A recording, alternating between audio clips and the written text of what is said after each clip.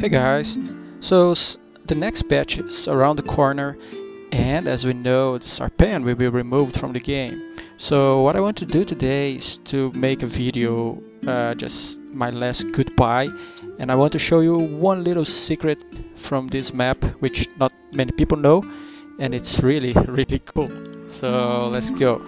Uh, Alright, you have to fly to, to Galdar right there. So that's the first thing once you're in, the Sarpan map.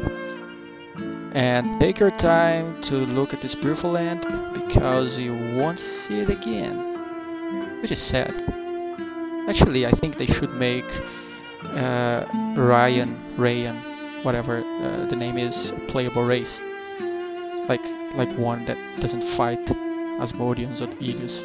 Just PvE race. That'll be nice. Anyway, so you come to this place and now you exit this door and you are going to the left.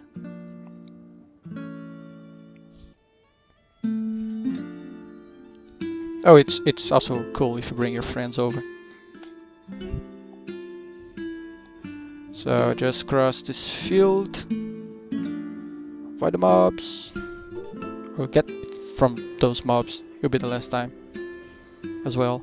So everything will be the last time it's really sad. A lot of fun in this in this uh, map. Anyway, so what you're gonna do? Uh, can you see right here this uh, thing, flower? So you're gonna hit this flower uh, three or four or five times till you kill it. And once you do,